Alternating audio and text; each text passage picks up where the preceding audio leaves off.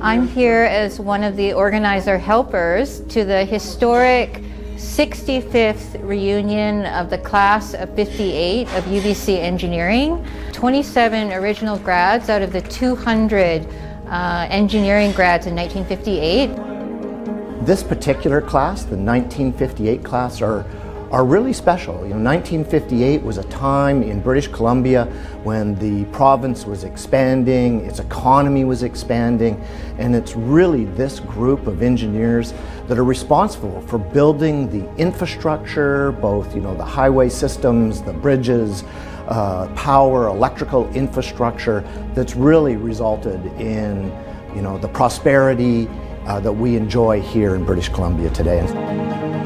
I decided to go to, to UBC, and uh, when I got to UBC, I figured I'll follow my friend and become an engineer.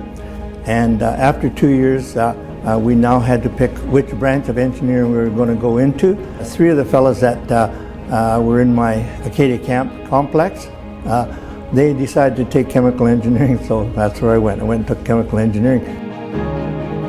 we had our 25th, our 40th, and our 50th reunions and after the 50th, there was so much buzz in the room of fellowship that, I, I that I'm going to change the format to have an annual reunion lunch.